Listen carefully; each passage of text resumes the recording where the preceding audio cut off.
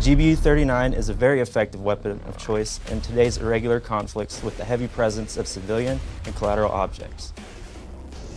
We get a shipment of 659 cans, which are actually what holds the SDB itself. They bring them from a storage location to our pad, where we then unpalletize them, break them out of the box, and get them prepared uh, to be loaded on the BRU four at a time.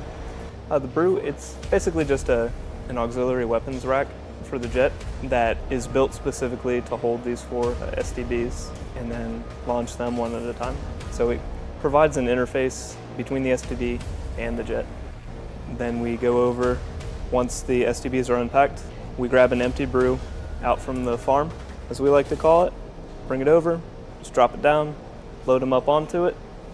We organize them, we set them up for the actual loading onto the BRU.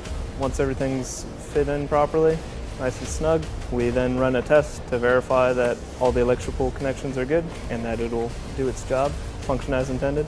And then after that, we take them to a bulk location or our loaded farm again, or we put them on a trailer and get them ready to go out to the flight line. So the munitions get delivered. My three man checks the BRU 61, make sure the settings are correct, looks at all the munitions, he inspects everything, he preps it for to put it up on the jet, make sure all the settings match the mission requirement, he makes sure it's safe. He gets the jammer, we pick it up, we go to the jet after my two men has prepped it, making sure everything's serviceable, reliable. He's undid all the racks, shut the doors. We go up, we lock it in, we put it down, we charge it up, and it's ready to go. Collateral damage estimation is vital to minimizing collateral damage in combat operations. One tool that has greatly reduced the collateral damage is the use of precision guided munitions, often referred to as smart weapons. The weapon is capable against a variety of target sets and also ensures the survivability of aircrew and airframe with its ability to be employed from great distances from the target.